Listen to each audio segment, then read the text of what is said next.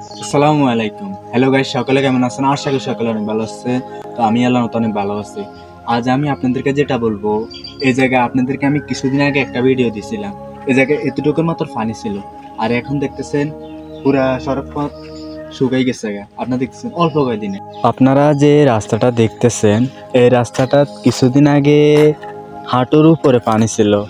পানির এত স্রোত ছিল এ জায়গাতে। মানে হাঁটতে অনেক কষ্ট হয়েছিল। আর এখন দেখতেছেন অল্প কয়দিনে। পুরা সড়ক পথ শুকাই গেছে।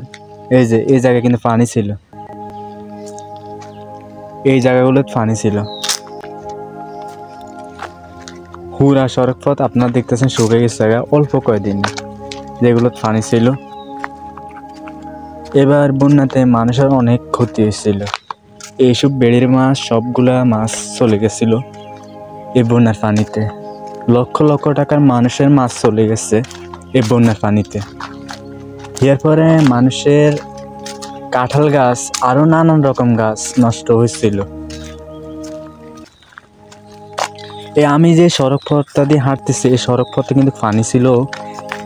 এই জায়গাতে প্রায় দুই কিলোমিটার পর্যন্ত পানি ছিল। ভিডিওটা যদি আপনাদের দেখে ভালো লাগে, তাহলে লাইক কমেন্ট শেয়ার করতে ভুলবেন না।